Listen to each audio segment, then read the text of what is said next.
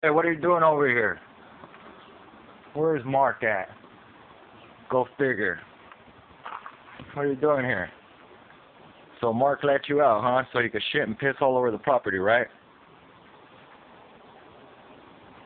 Yeah, that's real cute. You need to go home, Harley.